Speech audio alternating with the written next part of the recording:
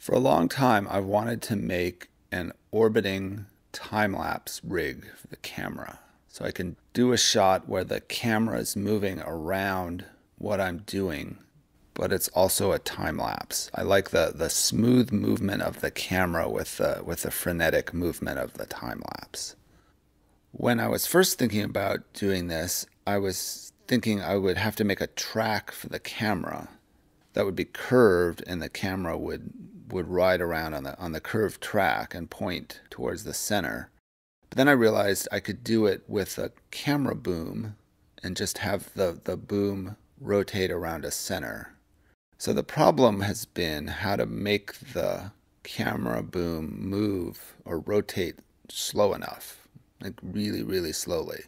And I have a little geared motor that I can control the speed on it's still too fast. So what I needed to do is make some gears to slow that rotation down even more. So I got Matthias's gear generating program. And I'll put a plug-in for that at this point. It's it's a really nice little piece of software. It does exactly what you need it to. No no more and no less. so with that, I can make the drawings of the gears that I needed to make. I think I did a big gear with 80 teeth and a little gear with 8 teeth, so, so that it would be 10 times the gear reduction. So I cut those out. I started with my 3 8 inch bit, and I think it's getting a little dull, and I think I didn't have it really quite deep enough, and it was kind of splintering the, the plywood. I did the teeth and the rest of the cutting with an eighth inch bit, and that worked really well. Now, I had made a couple years ago a big cantilevered beam that hangs on the French cleat system in the shop, and it allows me to have a, a platform away from the wall for, for holding camera stuff. That's what I've used it for in the past. It's let me get the, the straight down views of the wood turning projects. But I thought I could mount the gear system to this. So I drilled some holes for the two axles I was going to need. And I could basically just glue the gears to those axles. I'm wondering now if I should have come up with a way to make the gears removable because now it's sort of set on the end of my cantilevered boom.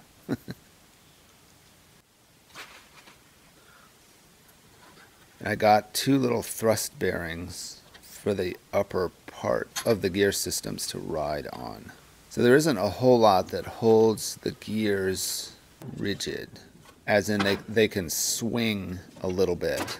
So I'm relying more on everything being balanced and everything hanging vertically. But that seemed to be okay in the end. The gears and the axles don't spin real fast, so whether things are vibrating or wobbling doesn't matter a whole lot.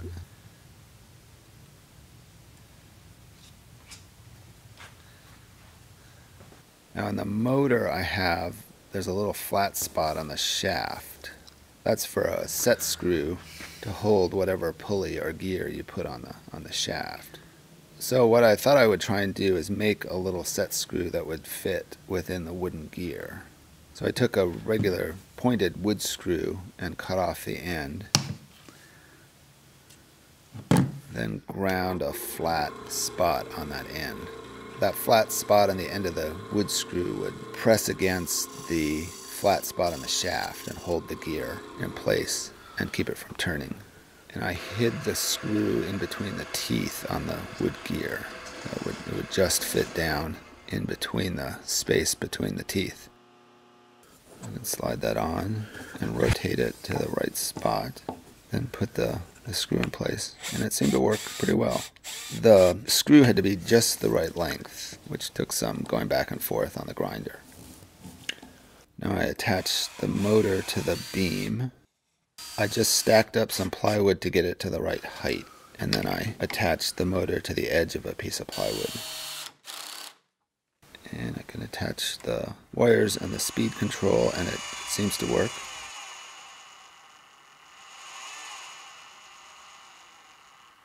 Now I can mount the speed controller. And I found some posts from a computer build and I can use those to attach the speed controller to the piece of plywood.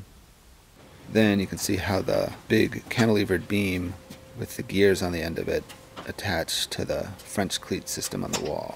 So it just hangs and sticks out into the, the space of the shop. Now I need to make the boom for the camera. And I just cut two strips and I made a T section with those two strips so that it would be rigid both vertically and horizontally. I thought if I, if I just used a single strip of plywood, it would have too much flex in it and the camera might bounce a little bit. So this was a simple section to make. I just glued and nailed it together. Now the axle on the gear that this is going to mount to, I left a little bit long. And I actually thought that was going to be a problem. But I ended up drilling a hole in the boom for that to fit into. And this helps me center the boom when I attach it to the gear so it's in the right spot. And I added a little piece of wood to mount the camera to. I'm just using my GoPro as it's nice and light. And it has its own time-lapse software built into it. Now I needed the boom to be balanced, so I put a fulcrum right under the center, or right, right under the hole that I had drilled in the boom with the camera in place. Then I could move spring clamps around on the other end until the, the boom was perfectly balanced on that center. Then I can put the boom in place and I just screwed it to the to the big gear.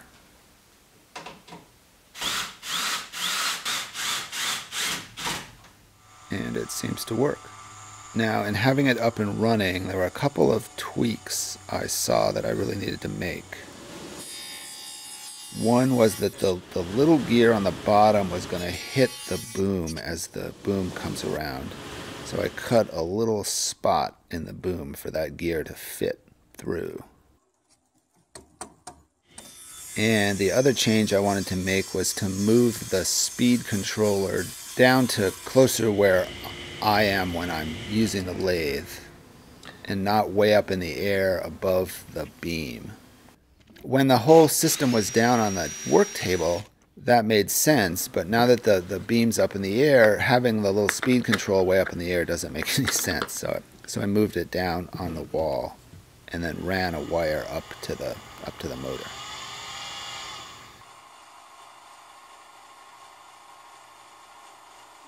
So this is my, my first sort of full attempt to see how this worked.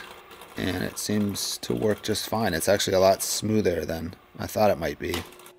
I was wondering if the boom would kind of bounce around as it as it moves around, but it's it's actually nice and smooth. The whole system's attached to the wall, so I'm not really bumping it as I work on the lathe or, or do whatever I'm doing below it. So it seems to work pretty well. I'm hoping to use it, but hopefully not overuse it.